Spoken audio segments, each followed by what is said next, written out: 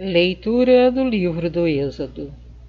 Naqueles dias, Moisés levantou a tenda e armou-a longe, fora do acampamento, e deu-lhe o nome de Tenda da Reunião. Assim, todo aquele que quisesse consultar o Senhor saía para a tenda da reunião, que estava fora do acampamento. Quando Moisés se dirigia para lá, o povo se levantava e ficava de pé à entrada da própria tenda, seguindo Moisés com os olhos até ele entrar. Logo que Moisés entrava na tenda, a coluna de nuvem baixava e ficava parada à entrada, enquanto o Senhor falava com Moisés.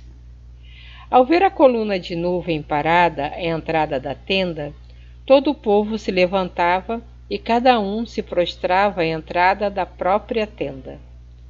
O Senhor falava com Moisés face a face, como um homem fala com seu amigo.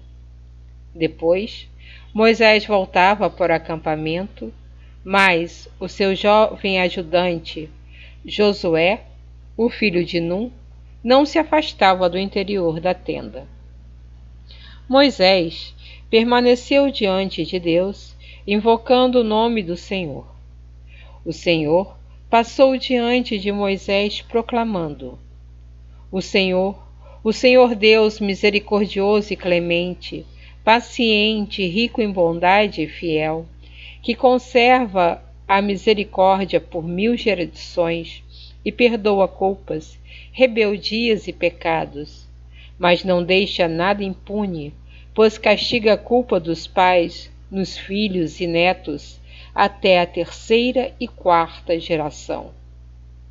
Imediatamente, Moisés curvou-se até o chão e, prostrado por terra, disse: Senhor, se é verdade que gozo de teu favor, peço-te, caminha conosco, embora este seja um povo de cabeça dura, perdoa nossas culpas e nossos pecados e acolhe-nos como propriedade tua.